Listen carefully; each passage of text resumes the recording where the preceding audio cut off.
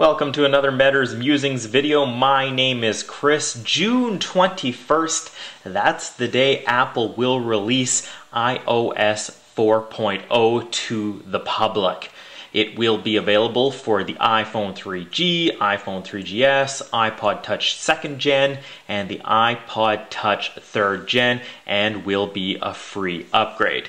Now, as with all the previous uh, operating system releases, it has been leaked. There are some people who have put it up on the net, and I've actually downloaded it and am running it currently on my iPhone right now. Actually enjoying some of the new features here, just to give you a quick little demo. You can see there's the multitasking or quick app switching as they call it, the iPhone, or I mean the iPod controls and such.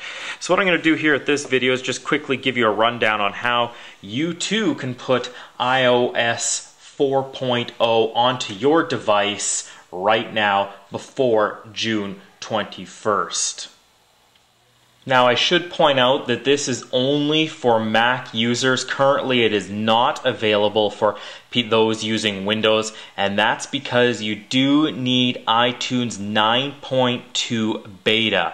So here, first of all, what you'll have to do is you'll have to surf over to gumballtech.com. I will have a link uh, to the site in the description below. So the first thing you need to do when you get to gumballtech.com is, as I said, you need to download the iTunes 9.2 beta, and that you can pick from a various number of sources to download right here. Once you have that downloaded, you'll need to choose the IPSW for your device.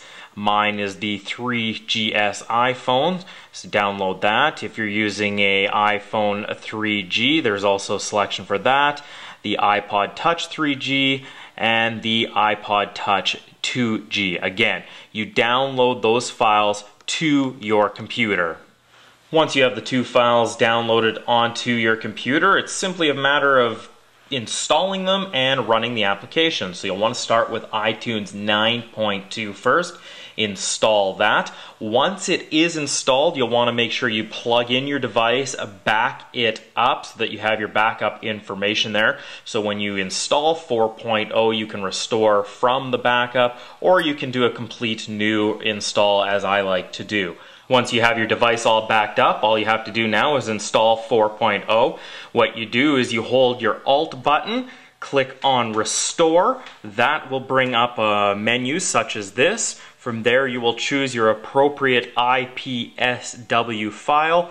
You click on that, you click Choose, and then what that does is that will restore your iPhone with the new 4.0 firmware. That, that does take a few minutes. Once that's finished, you can restore your phone from your previous backup or you can restore from new. And once that is completed, again, you will be running 4.0 on your either your iPhone or your iPod Touch.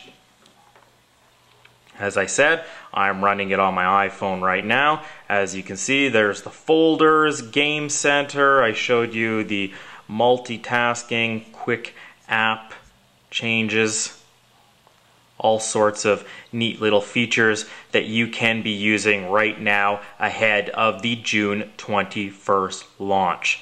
So, what do you think? Leave me a comment below. If you want more iPhone and iPad news, check out my blog. The link will be below. As well, you can follow me on Twitter. Again, the link will be below. Thank you very much for watching and have a great day.